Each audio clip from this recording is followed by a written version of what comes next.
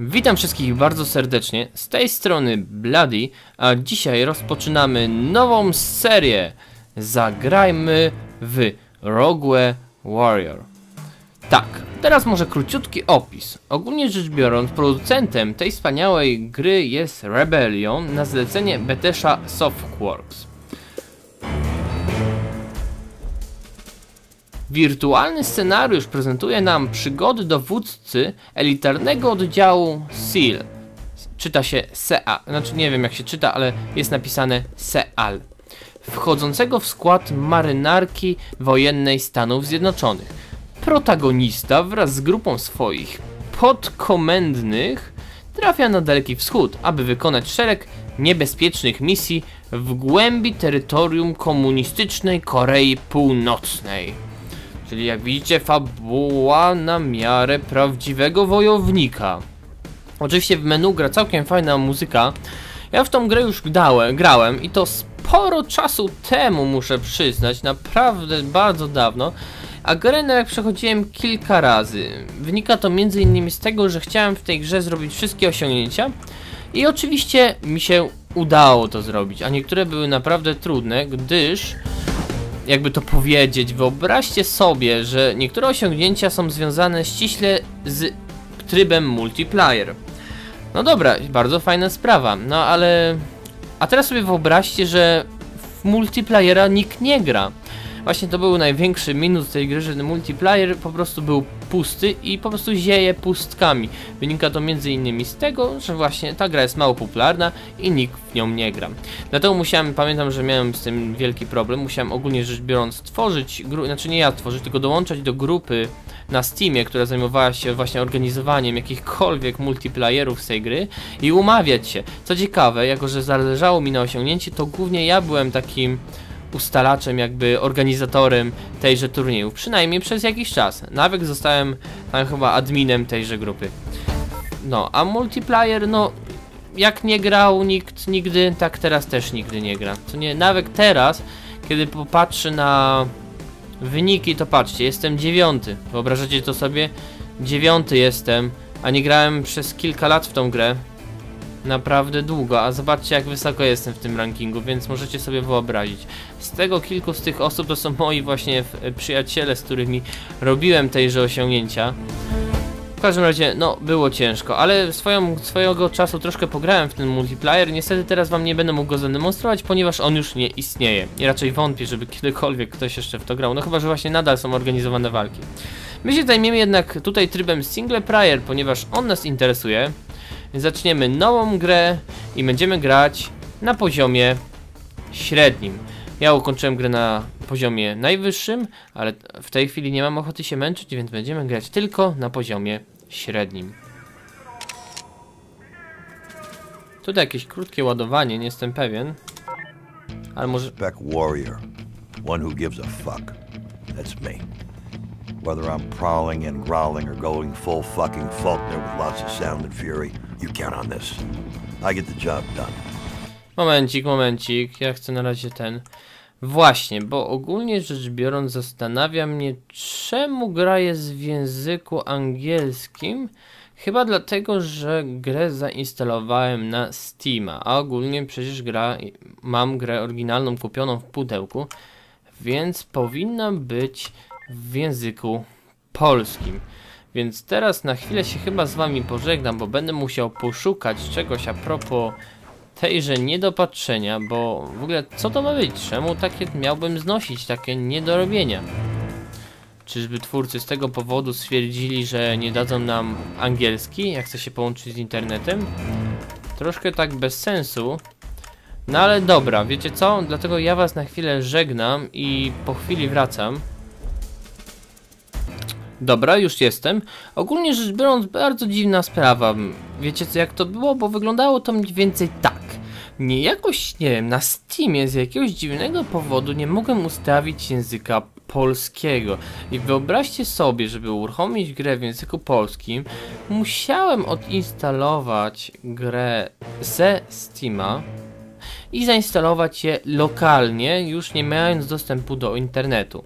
No trudno. I teraz właśnie gra nie jest już połączona ze Steamem.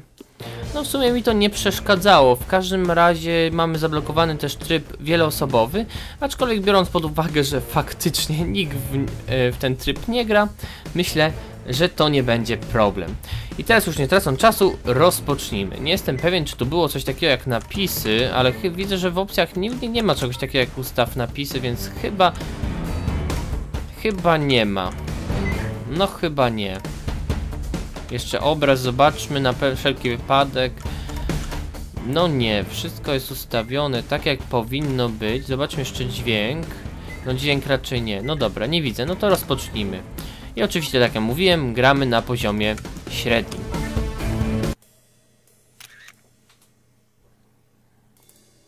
Tutaj bardzo ciekawe ładowanie, może już go pomińmy. Członek oddziału specjalnych. Ten, kogo to kurwa obchodzi. Tak to ja. Niezależnie od tego, czy robię wszystko po cichu, czy odwalam totalną rozpierduchę, można liczyć na jedno. Robota zostanie wykonana. Dziś oznacza to tajną operację w głębi Korei Północnej. Szycha, która prowadzi tę operację, to urzęda z gryzi piórek admirał Travis Payton. Mówi, że ta misja jest tajna jak diabli. Stąd załogę ograniczono do minimum. Jak najmniej śladów, jak najlepszy efekt. Dla takich dupków jak ja to standard. Wyszkoliłem tych ludzi w ramach programu Navy SEAL. Ocalili mi tyłek nie jeden raz. To twarde sukinsyny. A gdy ja zaglądam śmierci w oczodoły, oni pilnują moich tyłów.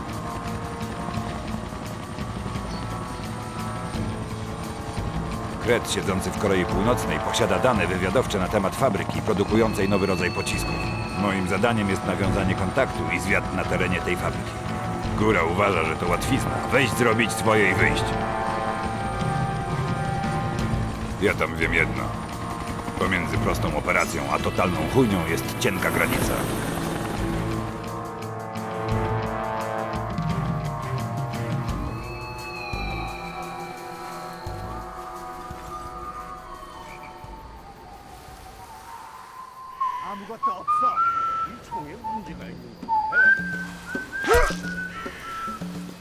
뭐였지? 아이, 공격! 아! 경고! 흐! 씨발! Sprawdzić ciała. Ten dupek wciąż się rusza.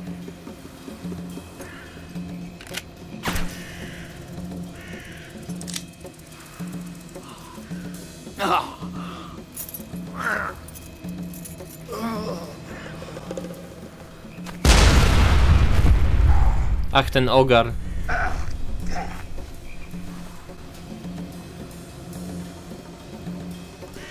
Komandorze, tu Peyton. Jak wasza sytuacja? Chujnia z grzybnią. Cholerni Koreańcy czekali na nas. Moi ludzie nie żyją. Chryste, panie. Przerwać operację. O nie, kurwa. No i tak, na samym początku mamy taki mały surprise, to znaczy w filmiku początkowym sami zobaczyliście, że nasi ludzie, pomocnicy właśnie zginęli. I czyli zostaliśmy sami znowu i będziemy teraz zdani tylko na siebie, ale oczywiście nasz dzielny wojownik Kato od... nie zniechęca, ponieważ on jest bardzo wytrwały i silny. Swoją drogą, jak zauważyliście, gra jest w pełni polonizowana. Jak się wcześniej, jak się jednak okazuje, musiałem wcześniej grać jednak na angielskiej wersji, ponieważ nie przypominam sobie, żeby postacie mówiły tutaj po polsku. Ale to taka dodatkowa atrakcja, przynajmniej nie będziecie mieli problemu, żeby cokolwiek zrozumieć. I ja takich problemów też nie będę miał. Biały punkt na radarze to twoje aktualne zadanie. No dobrze, dobrze wiedzieć. Ogólnie rzecz biorąc, to chyba nie, nie ma za dużo opcji. Ja jeszcze na chwilę wejdę właśnie w opcję zobaczyć sterowanie. A nie, tu nie było. A nie, dobrze, jest konfiguracja klawiszy. Zobaczmy. To jest shift, to jest bieg. Ukrycie zasłoną control, C kucanie. Prawy przycisk myszy to jest granat. No troszkę tak mało strategicznie. Spacja muszka. Okej. Czyn interakcja, przeładowanie, noktowizor, tab celem. No dobra, no to by było na tyle. Będę musiał się chyba przyzwyczaić. Troszkę tak dziwnie jest, szczerze mówiąc, że prawy przycisk to jest granat, ale poczekaj, zobaczę czy to działa. No dalej, udław się, złama się. Faktycznie. Pod prawym przyciskiem jest granat. Wiecie co? Ja będę musiał to zmienić, bo to jest troszkę bardzo takie niedomyślne ustawienie. Ogólnie Zrobimy tak, że po pierwsze, mm, gdzie jest ten granat? Granat damy sobie pod G, bo to jest najbardziej mi się wydaje optymalną sprawą.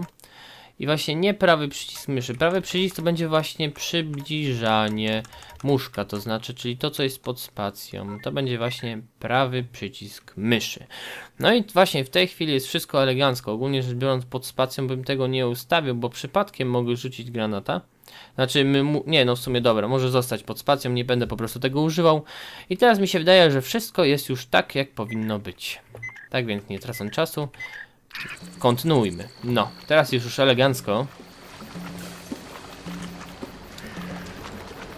Widzimy, że tutaj bardzo naturalne i efektowne oświetlenie.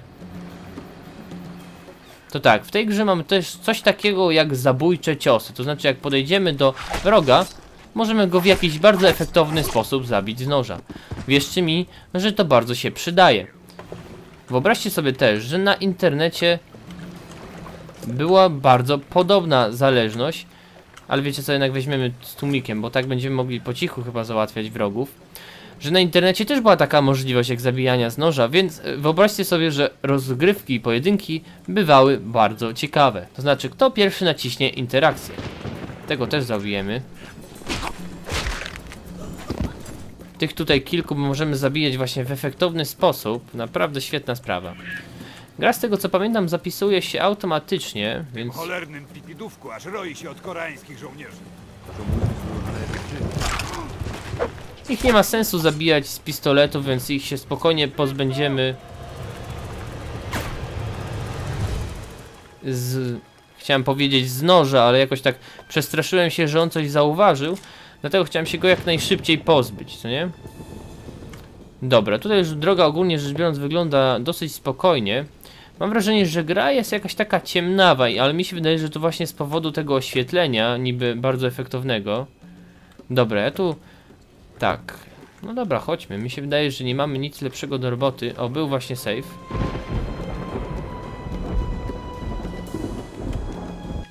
Tak, jeszcze na chwilę znowu, przepraszam, że przerywam, ale muszę jeszcze raz zobaczyć ten obraz.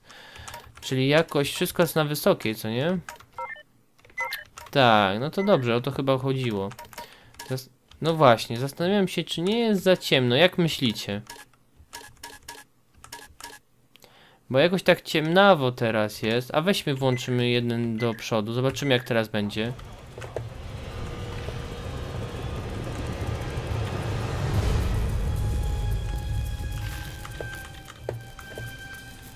Albo wiecie co, zabijmy go najpierw.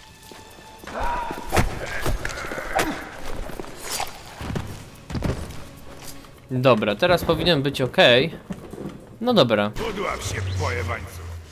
No i teraz ogólnie rzecz biorąc zrobiło się wszędzie ciemno. Oczywiście ja coś tam widzę.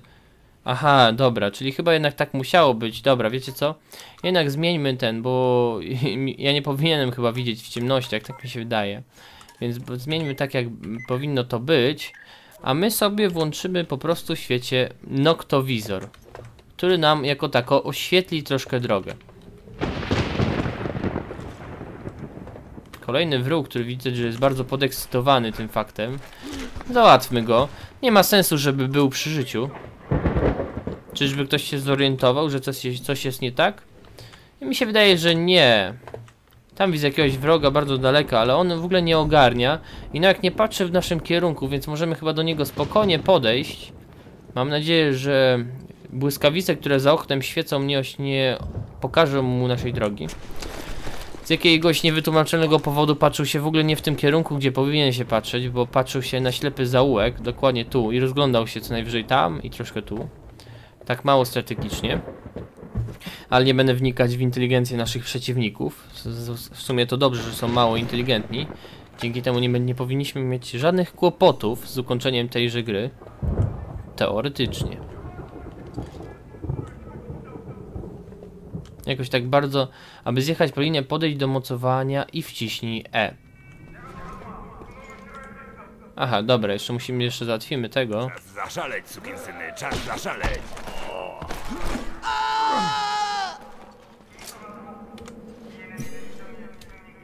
No dobra, jak widzicie tutaj jest ogólnie rzecz biorąc już o wiele jaśniej, ale wiecie co, my się zmienimy sobie na snajperkę i troszkę sobie posnajperzymy.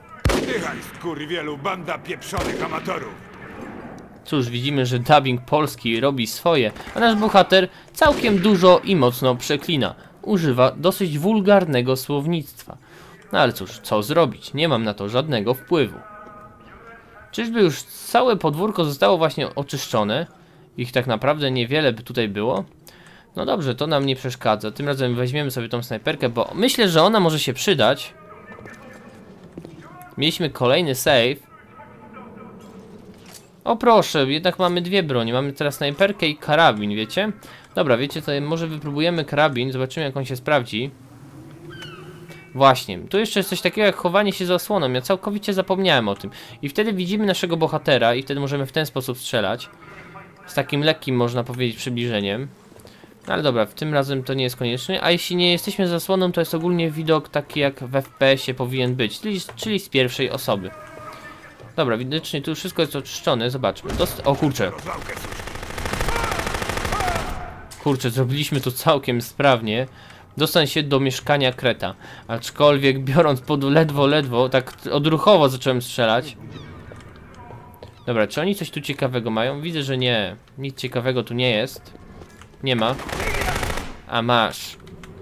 Chodź, wrócimy się. Mi się wydaje, że gdzieś tu shotgun powinien leżeć. Tak kiedyś jak grałem, to mi się wydawało, że był. Choć mogę się mylić, rzecz jasna, bo ja już nie pamiętam tej gry. No dobra, chyba jednak nie ma tu żadnego shotguna. No dobra, chodźmy.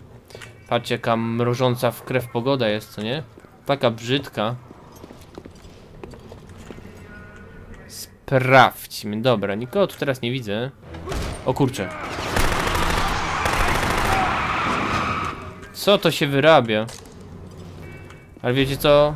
No dobra, nie, wszystko jest chyba ok. Chociaż cały czas zastanawiam się, czy może jednak nie jest... Dobrze, mogę sobie tarczę przykleić do tyłka. O proszę, nawet się zmieniło, że G muszę nacisnąć. O, patrzcie jak ładnie ich trafiliśmy. Bez żadnego problemu, szczerze mówiąc. Nie mieli żadnych szans i zginęli od naszego granata. Tutaj znowu jest troszkę ciemno, więc włączę noktowizor, żebym wszystko na pewno widział. Albo wiecie co, po co mi noktowizor? Tak jest bardziej realistycznie. Ja nigdy w grach nie lubiłem noktowizora. Moim zdaniem wszystko zasłania, wszystko jest takie zielone i nie podoba mi się to po prostu w świecie. Aha, mówiąc, miałem mówiąc shotgun, miałem na myśli oczywiście ten moment. Oh fuck yeah. Tu jeszcze mamy tą, ten rodzaj broni. Sumie, nie, nie, nie, no co ty robisz? Ach kurczę, ja chciałem to, to chcę jeszcze zobaczyć. Zobaczmy. No, trzeba przyznać, że to też wygląda całkiem ciekawie. Ale wiecie co, najbardziej mi się uważam, uważam, że shotgun będzie tutaj o wiele lepszym pomysłem. Tak więc, no cóż, wkraczamy.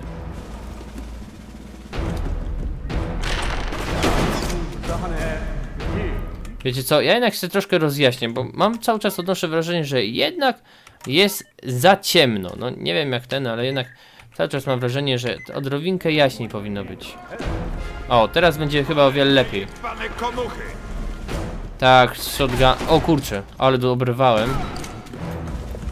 Całkiem sążnie widzimy tutaj, że ekran się zaczerwienił, ale na szczęście szybko się zregenerowaliśmy po tym. Dobra, wkraczamy. Było bodajże, pamiętam, że na Steamie było też osiągnięcie, żeby załatwić bodajże z shotguna pięcioma strzałami pod rząd. Czy coś takiego. Pokój wygląda na czysty, ale ja wiem, że tutaj się czają jednostki zła. Dobra, wzięliśmy sobie kilka amunicji. Troszeczkę amunicji. Oh yeah. Idziemy na rozpieprz. Co to było? Ale się sprytnie schowałaś za tą kratką. No nie, na pewno bym cię nie zdjął. Widać, że tutaj nasi Koreańczycy są bardzo sprytni.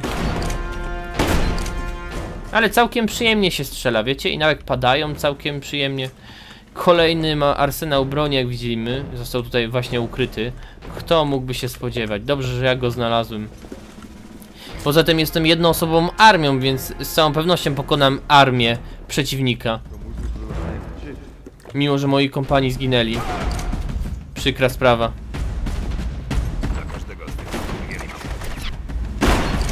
Nasz bohater coś mówi, ale było to bardzo cicho.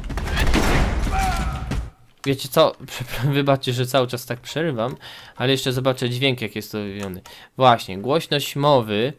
Wiecie co, ja to nawet chcę może troszkę podgłośnie, żeby po prostu to było głośniejsze od innych, wiecie? Bo ja i tak nie będę mówić podczas, y, kiedy on będzie mówić raczej. A to, to, to doda troszkę takiego, że będzie, bądź, po prostu będziecie słyszeć, co on tam mówi do siebie. No dobra. To widzimy, że łóżko i drzwi zablokowały przejście na górę, więc musimy z całą pewnością się udać tędy. Pokoje wyglądają na opuszczone.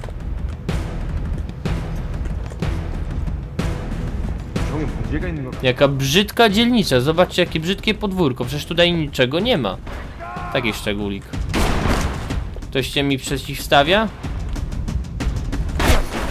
Ja cię, ale dostałem. Masakrycznie.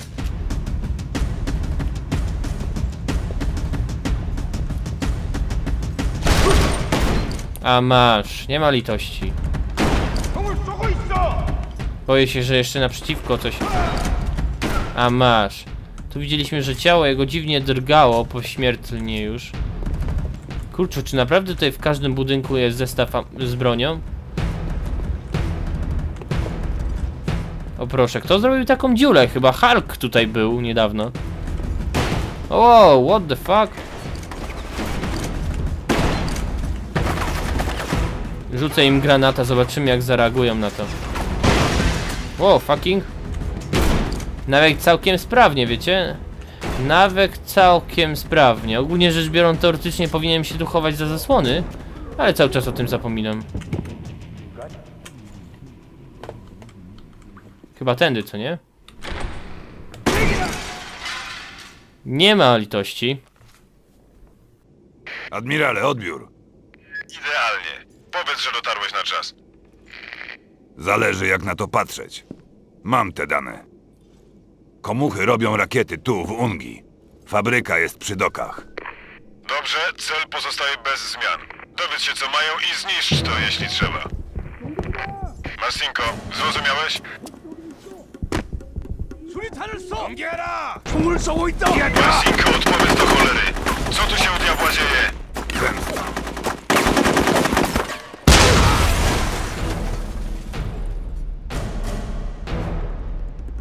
Szychy z Waszyngtonu mówiły, że to prosta operacja, ale Murphy wiedział już, że to blef. W tym momencie wszyscy moi ludzie nie żyją, a ja zamierzam dokończyć to, co zacząłem. Z danych wywiadowczych, które podwędziłem naszemu informatorowi, wynika, że pewna fabryka amunicji zajmuje się produkcją rakiet dla Wielkiego Wodza. Czas trochę powęszyć. No dobra, i tak właśnie prezentowała się pierwsza misja wspaniałej gry, jaką jest Rogue Warrior. I w tym też optymistycznym akcencie zakończymy dzisiejszy odcinek. Zapraszam Was do oglądania kolejnych części, zwłaszcza jeśli chcecie zobaczyć, co wydarzy się dalej z naszym super ekstra męskim bohaterem, który trzaska genialnymi komentarzami. A póki co, do zobaczenia.